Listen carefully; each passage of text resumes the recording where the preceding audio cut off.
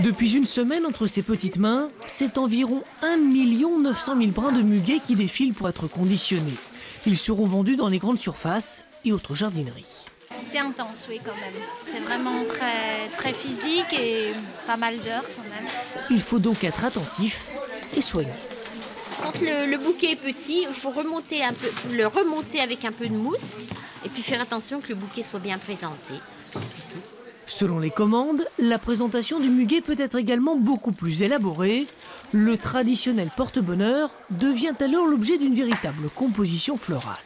Il y a plein de modèles différents avec des plantes d'appartement. On fait des compositions en galets, avec, euh, dans des différentes verreries, dans des vases, euh, dans plein de choses. Ici, les prix grossistes varient de 1,70€ à 15 euros. Et ce qui explique cette différence, c'est à la fois la présentation et la variété du muguet. Les clochettes peuvent être différentes en fonction des origines. Il y a deux grandes familles, le muguet bressan et le nantais. Alors le muguet bressan, c'est un muguet très rustique avec une odeur prononcée euh, qui résiste, qui va fleurir très longtemps.